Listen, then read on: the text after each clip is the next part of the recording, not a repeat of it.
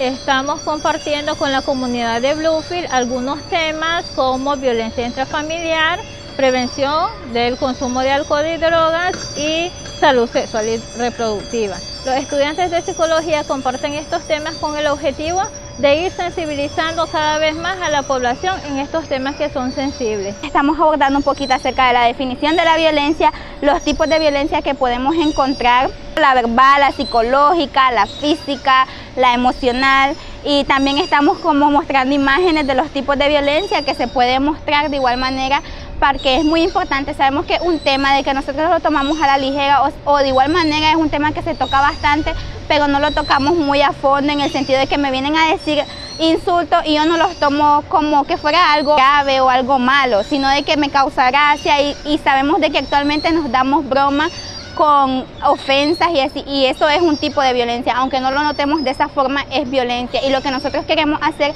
es llegar a la población con esta información, haciéndoles notar que todos esos factores son violencia y que nos pueden influir de igual manera en nuestra forma de pensar, sentir y actuar. Hablarles de la importancia de lo que es tener un proyecto de vida, ya que verá, esto conlleva un proceso en, ya sea a largo o corto plazo.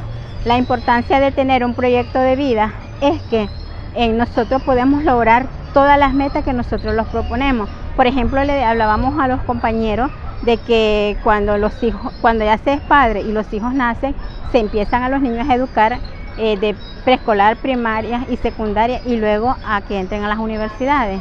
Eh, ya que el proyecto de los padres con los hijos es que ellos logren hacer personas con unas carreras o personas profesionales para su futuro, los preparan. Y si nosotros aprendemos a a realizar estas actividades como personas, pues nosotros vamos a lograr a hacer muchas cosas en nuestra vida. Son temas que no pasan de moda porque son cosas que tienen que ver con el desarrollo de cada etapa de los seres humanos.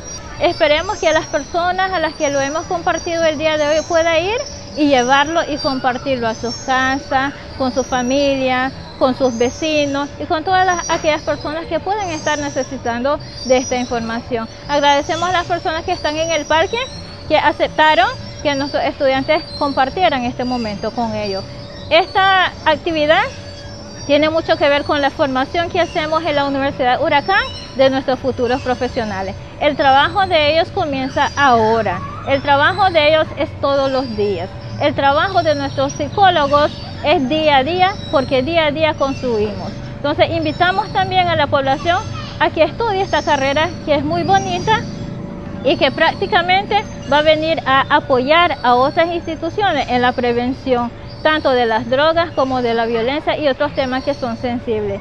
Psicología en contextos multiculturales en la Universidad Huracán. Les invitamos a estudiarlo.